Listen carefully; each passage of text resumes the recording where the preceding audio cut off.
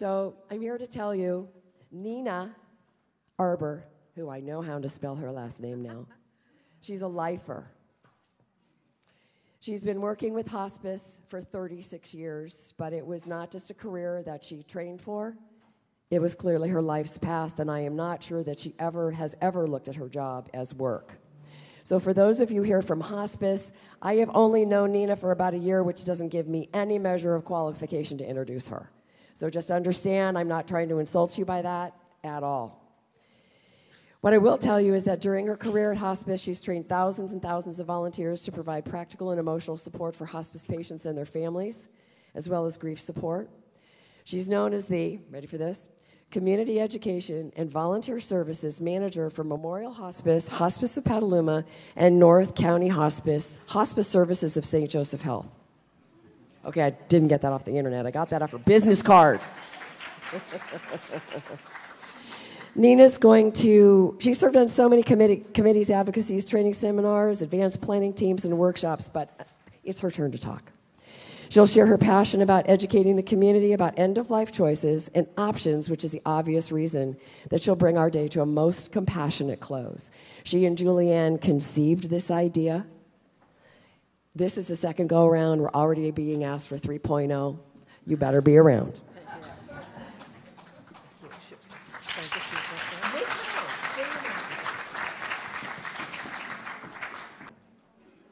So I really appreciate um, you all being here till the very end. Um, I, I, was sort of smiling when Mary Claire announced going back for Girl Scout cookies, and I thought, what a great combo Girl Scout cookies and end of life care. It works, right? So I just want to point out that on this PowerPoint and actually on our pop up sign there, um, you'll see a symbol, and I love symbols. That's part of what I've loved about hospice is the stories of others and the symbols that we have in daily life. And so on, on our PowerPoint and on our pop-ups and on our table over here with the lovely Allison, um, you'll see the lotus. And the lotus reminds us that no mud, no lotus. And it reminds me symbolically that we're involved in this conversation about cannabis that every single moment reminds me of we're in the mud of it in many ways. We're in the mud of it before we get to that beautiful lotus. And the mud is actually a beautiful place to be in because it causes us to converse with one another, it causes us to wrestle around, and it causes us to have hope and faith and trust that what we'll get is the lotus. So we'll go from there. So I called this the challenges and opportunity at end of life. So when Julie Ann first opened, she said something about hospice was using cannabis. So I want to clarify that, that we're not using cannabis. And maybe the staff is, but not our patients. Just to be perfectly clear. Um, but therein lies the tension and the beauty of the conversation. Because what's happening is a culture change once again. That our patients and our families are coming forward and they're requesting different methodologies and they're requesting different ways to be in the world. And so, what this day has been about, and the time we did it before, was because we're hearing the rumblings. We're hearing what people are asking for. We're hearing the stories that families are telling us, and we want to be responsive. And we're in the mud of not quite there yet because we have this really interesting dynamic of California being a legalized state and all of the cities having much different ordinances and the federal government saying, nope, it's still Schedule 1. So we're caught in that quandary of how do we keep moving forward. And my hope is after you leave today, whatever your role is in this, if it's personal, if it's organizational, if it's new business, keep having the conversations. That's how hospice started conversations. We were seen as radically different from anything that existed years and years and years ago. And I spent a fair amount of my time convincing people that we actually did something that could benefit end of life care, how we care for our dying. And so this is kind of a, a parallel journey here with cannabis.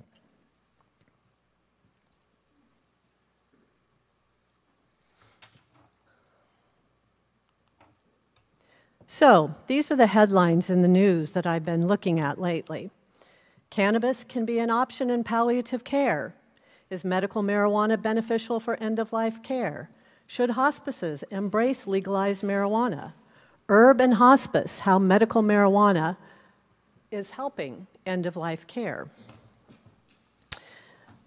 I uh, think fondly of my mother and father, who both died in 2012. And as I was listening to our doctors speak about the medications that we use and the benefits and the challenges of cannabis um, related to the medications that we use, I, I'm thinking of my mother, who entered into dementia at the same time my father entered into Alzheimer's. And one of my favorite stories about the medications that they were given, Aricept being one of them, and actually my parents' doctor said, Well, I'm sure that you'll see a change in both of them if they take Aricept. Thought, okay. Now, my mother is a person that um, she manifested such different symptoms than my father did in his journey. My mother is the person that wrote rebuttals to everything she ever read in her life. She wrote rebuttals in the Holy Bible. Okay? So when she was given the package of Aricept tablets, what I found was that she wrote all over the package in very tiny letters to herself. Her name was Valine. She said, Valine, take this one, take this one Tuesday, take this one Wednesday. The entire package was covered with her writing about when she should take the pills. She didn't take a one of them. My father took one, told me his stomach hurt, and I never found where he hid them again. So I would say highly unsuccessful. And I think as I'm listening today, I thought I only wish I knew more at the time about cannabis, that it might have been able to relieve some of what was my mother's intense agitation and her questioning about life and her paranoia and my father wanting to hide out.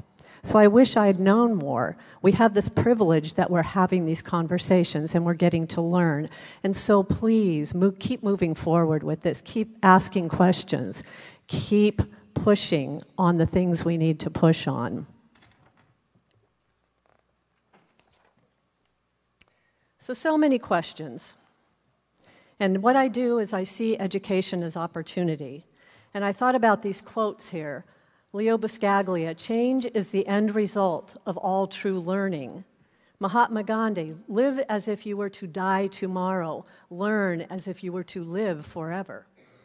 And Abraham Lincoln, upon the subject of education, I can only say that I view it as the most important subject which we as a people may be engaged in. So, this is not just a symposium, this is a really important time in our lives. We're on a continuum with end of life care. We've been pushing for years and years and years to have seamlessness between palliative care and hospice care.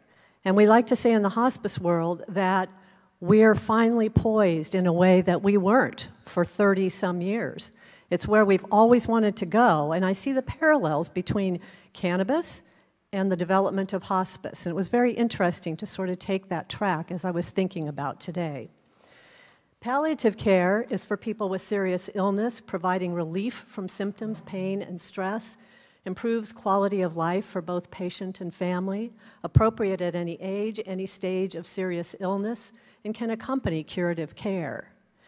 When palliative is when you're at a place with palliative that maybe the things that were working so well at that part of life aren't working well anymore it might be time to contemplate what we call end of life care or hospice care, which is care at the end of life, involves a team of healthcare providers, interdisciplinary, focusing on symptoms, comfort, quality of life, support to patient and the family.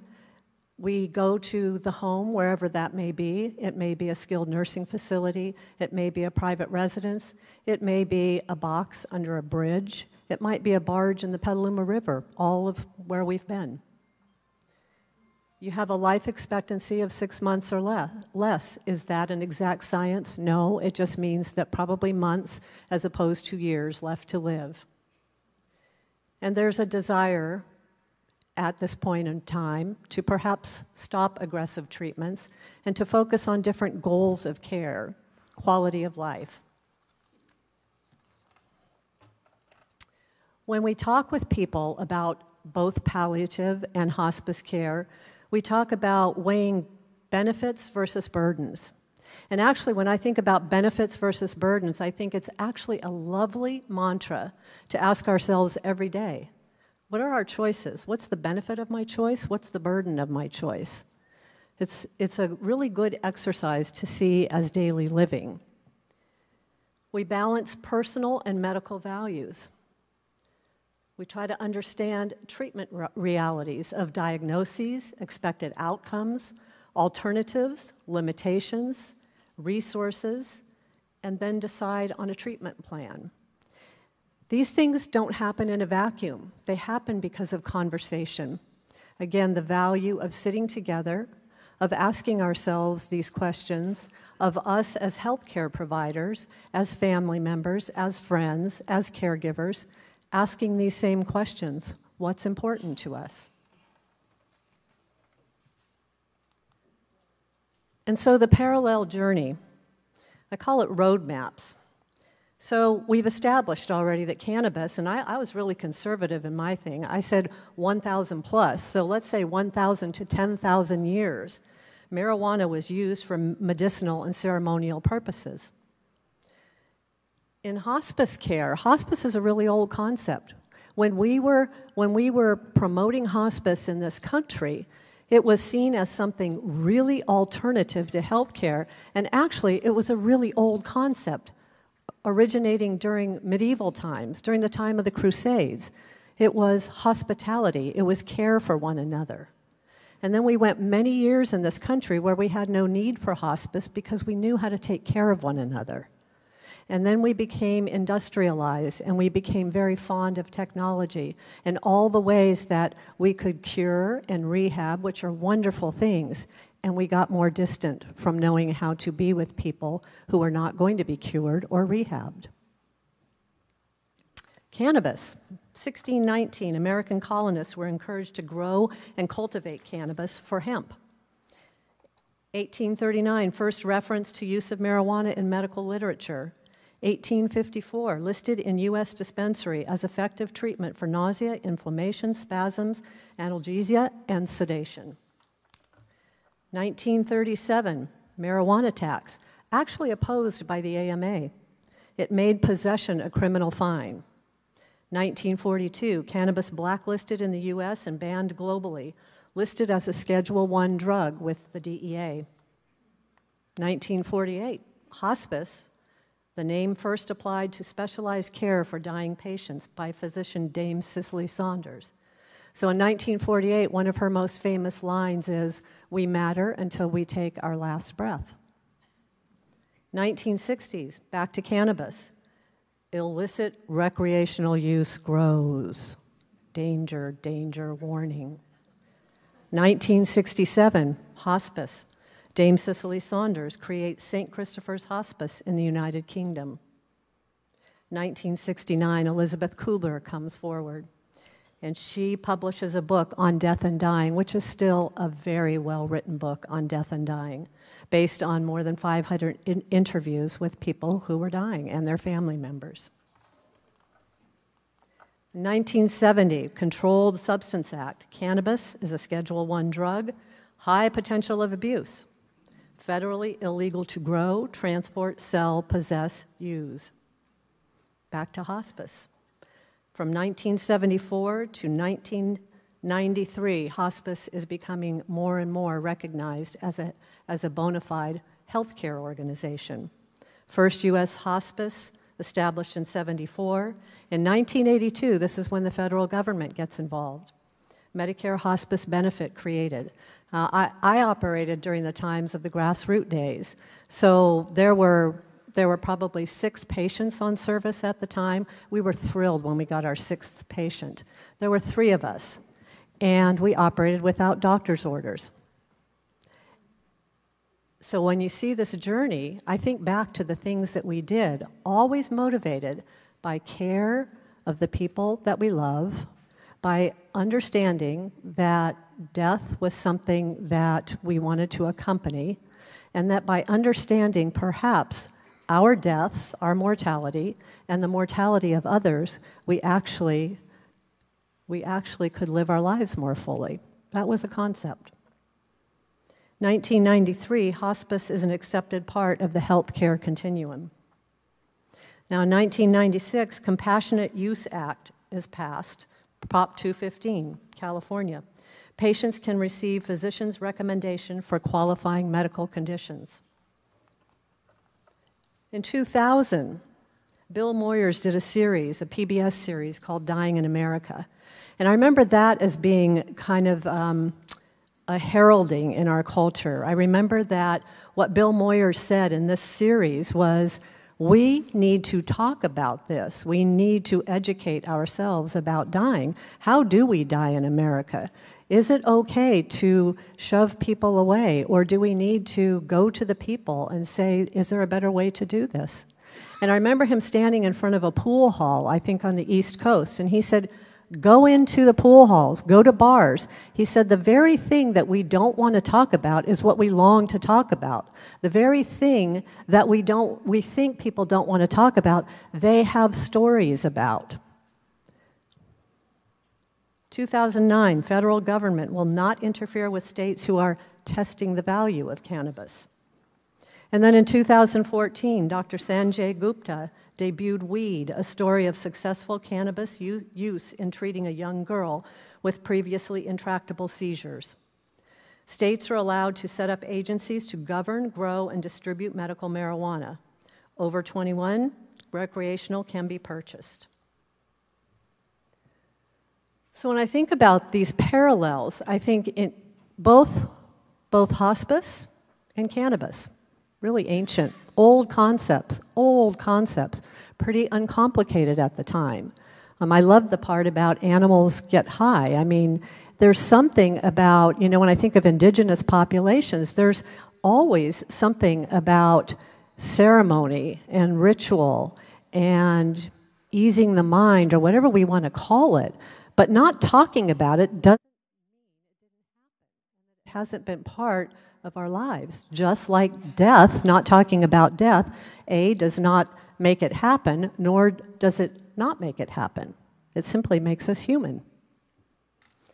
So I go back to benefits versus burdens, goals of care. Both palliative care and hospice care aim to maximize comfort and focus on goals of care and treatment. So we look at relief of pain and suffering, whatever that means to people. And again, not our definition of suffering or our definition of pain. Because for a lot of people, what I may look at and say, oh, that person is suffering, it may be the very mark that they're alive for them. So, again, the value of conversation, the value of not making assumptions, the value of moving into a situation, entering a room, and saying, What is it that's meaningful for you? What is quality of life for you? And respecting personal hopes and wishes, and then trying to balance both personal and medical values. So, when we think about cannabis, when family members come to us or a patient says to us, you know, I, I, want to I want to use cannabis or I want something else. I'm, I, don't, I don't want to do opioids. Whatever the conversation is, it would not be in our best interest, nor in the interest of the people we're serving, to run screaming out the door because cannabis is federally illegal. What we do at hospice is that we honor what people are saying to us. We do not abandon people. So we want people to know that the value and the place for conversation is at the forefront of what we do. Can we prescribe? No, we can't because of our framework. We receive Medicare dollars, it's federally illegal. But can we accompany by conversation by encouraging people to explore what it is they're interested in, by educating ourselves, by doing symposiums like today, by giving you and bringing forward resources in this community so you as consumers can continue to keep those conversations going, yeah, that's what we can do.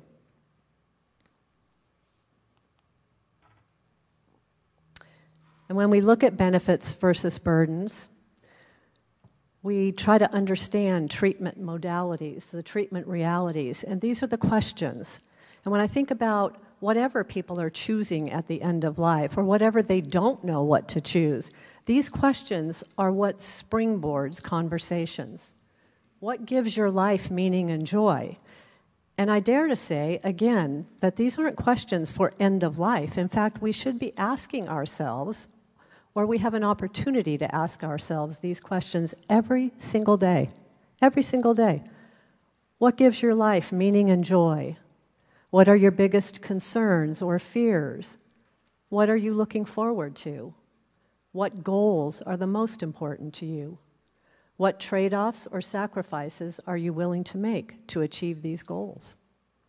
You know, for some people, when they've realized that maybe what hospice has meant to them is that they're at the end of their lives, that their time is limited.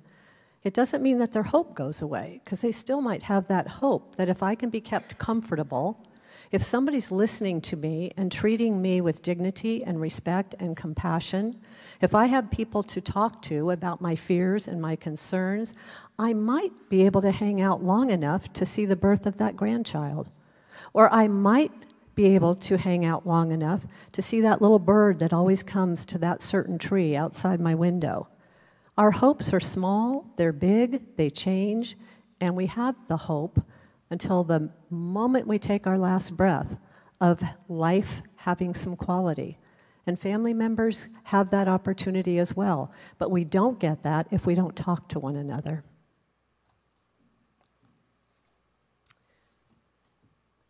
Common symptoms we see as we think about usages of cannabis and medications. Why do we have medications? Why do we have alternative therapies? You know, I was thinking about this again in the old days of hospice. It was very common for every single one of us to be trained in therapeutic touch, meaning meaning we knew that medications have a place, but we also knew the power of touch. We also knew that flower essences oils were comforting to some people. We know that sometimes when you bring a puppy to somebody or a dog, it lights people up. One of our panel members talked about music and his wife. We have a lovely program called Music and Memory that when somebody has Alzheimer's and they're in their own world, when you play music of their era, something that was important to them, there's a life force that comes out of that brain in a way that nothing else has touched.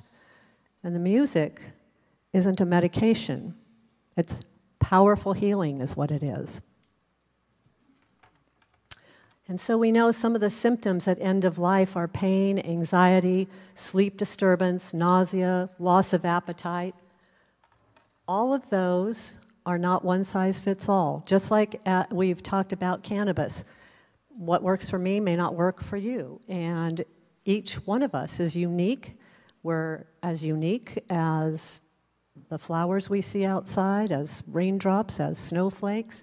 And so, one of the things I've loved about hospice is we don't view things as one size fits all. And really, shouldn't we be doing that in medicine in general, in healthcare in general? You know, when I go into an emergency room, and I know I'm kind of a lightweight with medications, and I say, oh, I have to take, you're giving me these heavy duty antibiotics and it's not going to do well for me. And the response comes back to me, well, I don't see why you'd have a problem. I take them all the time. It's like, well, that's not me. So the parallels here are it's not one size fits all. We're unique. Every single treatment is unique. We don't we don't deal the same way with any of it. So, the question should hospices embrace legalized medical cannabis? So, clinicians are increasingly fielding questions from patients' families who want access to medical cannabis. We're increasingly hearing it over and over again.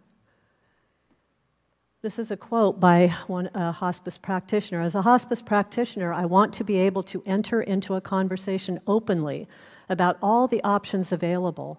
I don't want to overstate the benefits, but we should be able to lay it all out there for our patients without being worried about the response of the DEA. Over 30 states and DC have legalized cannabis, with more poised to legalize. Again, when we're seeing what's happening, we're, we're, we're in the mud of a culture shift here again, coming from ancient times, shutdown times, oops, resurgence times. So we're in this very alive place with that lotus about to be born. And when people come forward and they're asking us questions, it seems to me that to not be negligent, we want to educate ourselves. We want to stay open. We want to stay curious. We want to ask the questions. We want to find out as much as we can who the resources are. Absolutely come to our own conclusions, but educate, converse, stay open, stay curious. So, what are the challenges for hospice? It can feel controversial, much like aid in dying. We all have, we all hold aid in dying very separately. Some of us say to ourselves, perhaps, if I'm at the end of life and I feel some sense of I don't want to continue this, and I go through all that I need to go through to request aid in dying, I might, I might choose that. And others of us say, I couldn't imagine ending my life before it ends by a virtue of disease or natural process. No judgment there, but the only way we're going to know how we feel about these things is to stay open, stay curious, educate ourselves, and not abandon conversations. So, cannabis is controversial now, given this tension, this conflict between state and federal, and organizations that receive federal dollars, and physicians that are concerned about revocation of licenses, nurses. So, we want to do the right thing. What does it what happens when when we worry about these kinds of things as we need to? It reduces conversations. It makes people uncomfortable. It creates a tension that may not always feel like we can move forward with conversation. Fear of funding revocation, revocation of clinical licenses. Another challenge is cannabis related medicinal products have yet to be well integrated. Again, I think there are lots of people in the healthcare field that want to be more knowledgeable but we don't have massive curriculums about helping people feel more knowledgeable. We're at the cusp.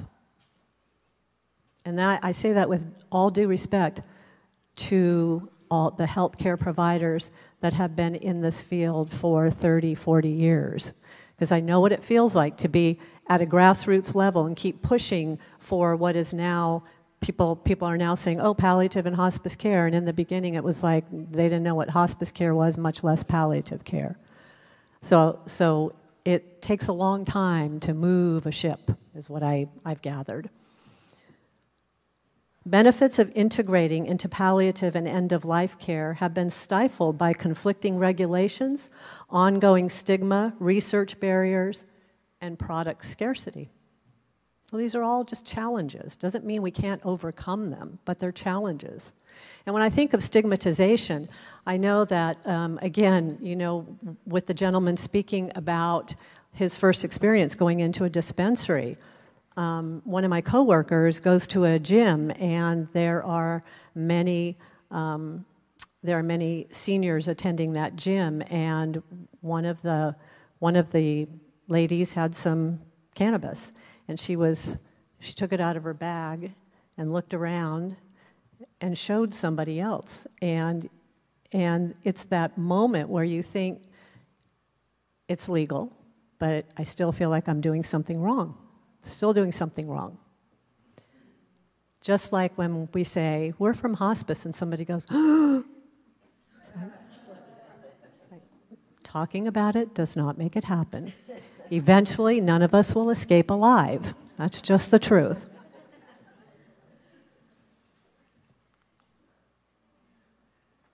Challenges, more challenges. Providers unclear about the concept of medical cannabis. We can't be clear because we don't have a lot of education about it. it same parallel to hospice. There was a time in the curriculum of physicians that there was no mention of end of life care. There was no curriculum about how to have conversations. It really hasn't been until books like Being Mortal and Atul Gawande coming forward and saying, wow, I need to really find out what people want and what their thought process is before I assume that I know that they want X, Y, and Z at the end of life. So, of course, there's gaps in what we understand. We're, we're not quite there yet. There's gaps in understanding around the pharmacology, pharmacology. There's gaps in understanding the evidence or indication for use, the formulations and the dosing, adverse effects, safety, drug interactions, patient counseling. And I know many, many um, well intentioned and, and, and curious providers that want to be more knowledgeable in these areas. And that's part of why it's hard to enter into conversations when you don't have that particular knowledge base. So, what are the opportunities? So, studies have shown relief of symptoms like pain, nausea, vomiting, constipation. Studies have showed relief of spiritual, existential suffering, despair. Studies are showing patients achieving a sense of well being growing evidence of low abuse potential, and reported efficacy of treatment for intractable seizures. What we need is more scientific research. We need funding. Not only do we need conversation, but we need to be able to supplement all of our stories that people tell us, that we witness, the anecdotal stories. We need to supplement it with that scientific research so that we can stand on the value of what's being offered.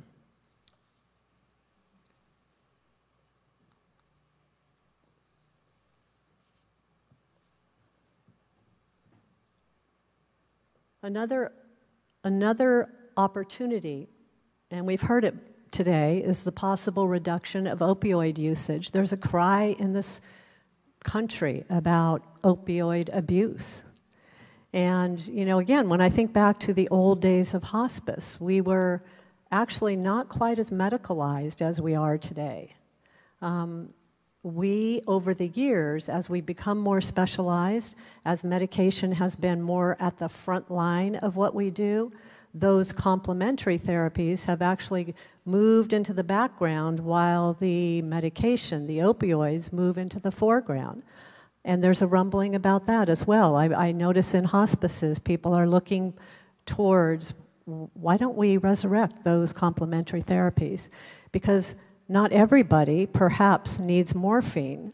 Maybe somebody needs that dog, or they need uh, to talk about their existential suffering, what, who's loving them, who, how they're going to be remembered. That's a pain that medication may or may not touch and mostly doesn't touch. So let's not forget that there are many ways to offer healing, there are many ways to support, there are many ways to relieve suffering. It doesn't have just one name of, of what we're able to do. I think an opportunity is to see cannabis education as a clinical obligation. It's like people are speaking, we need to, we need to respond. Cannabis curriculum to include biochemistry and pharmacology, evidence on efficacy and adverse effects, and drug interaction. And I actually see another opportunity happening because this came up over and over again as I was looking at hospices in Washington and Oregon. There is going to be a reemergence and a resurgence of death doulas. So, if many of you remember back in the day of the alternative birth movement, when birth again became a medicalized event, there were numbers and numbers of cesareans happening, not always because a woman needed a cesarean, but because it was more convenient for a healthcare system. And so there was a movement, much like ho- the hospice movement at the end of life. The movement in natural birthing was women saying, I'd like a different experience, much like we're creating a different experience at the end of life. And so, death doulas are the midwives at the end of life. And more and more people from hospice actually are going from hospice into becoming death doulas. Because when you think about something like cannabis, what you can do as a death doula in terms of being able to be that intermediary between family and cannabis and dispensary, you can't do in the hospice framework. So I'm seeing more and more people going into and investigating what is it like to be the midwife at the end of life care, working in conjunction with hospice.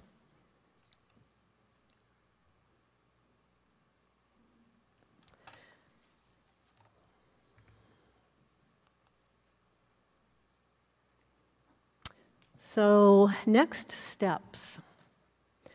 There's the National Organization for the Reform of Marijuana Laws, federal reform. It's, it's happening. Um, there, there's a lot of, there is a lot of legislation going on and a lot of conversation going on in the legislator, le- legislation. The States Act, anything legal under state marijuana laws will be considered legal under federal law. There's a call to reclassify, declassify the Schedule 1.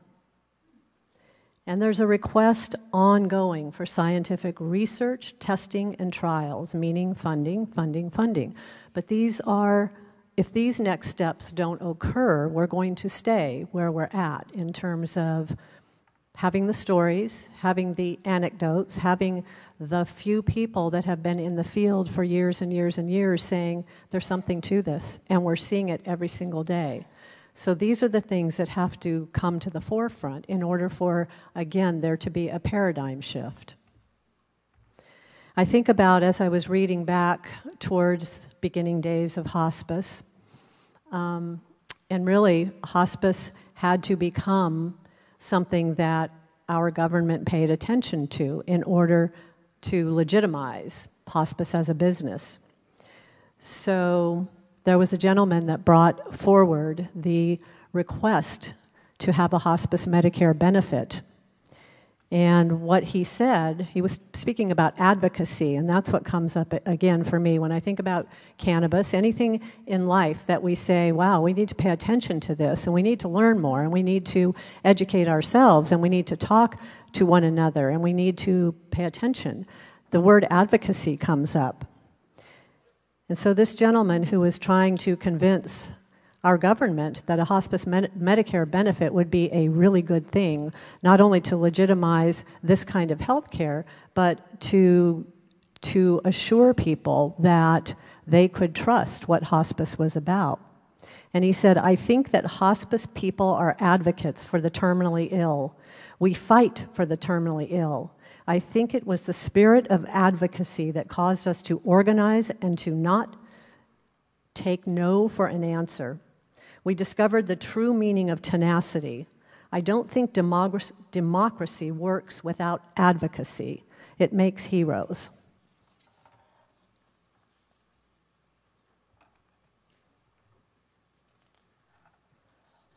So there, I, I, looked at these position statements by medical organizations on medical marijuana, summary of position statements. Institute of Medicine calls for more safety data on smoked cannabis, urges development of safe and reliable delivery systems. The American College of Physicians encourages use of non smoked THC with proven benefit, calls for review to reclassify Class 1 status, recommends clinical exemption for prescribing physicians.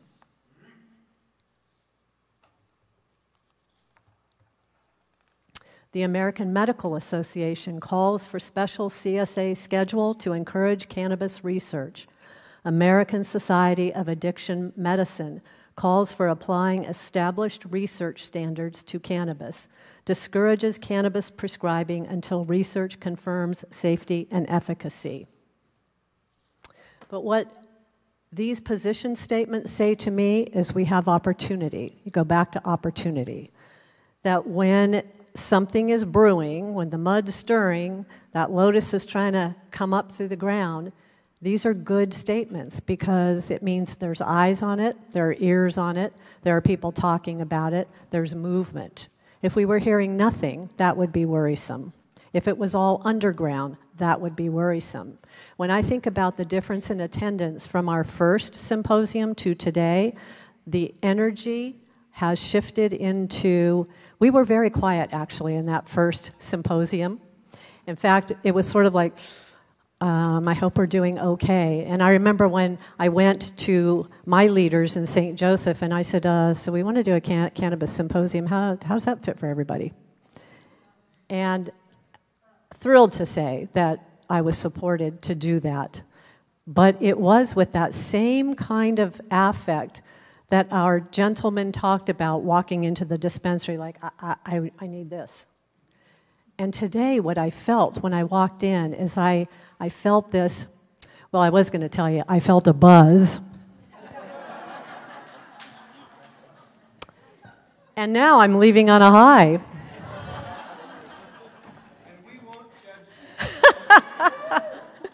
Grow six big ones. so the energy is shifting, and that is always exciting to me because it is how things change in this universe. We would not see hospice looking like it does. We went from being a few hospices nationwide to 30 some years later, there are 6,000 hospices nationwide. So we know that this kind of education, activism, advocacy, knowledge, learning, talking, staying connected, we know it works. We know it works. So, all of you are the key makers. Some see a closed door and they turn the doorknob. If the door doesn't open, they turn away. Others see a closed door and they turn the doorknob. If the door doesn't open, they try a key. If the key doesn't fit, they turn away. A rare few see a closed door and turn the doorknob. If the door doesn't open, they try a key. If the key doesn't fit, they make one.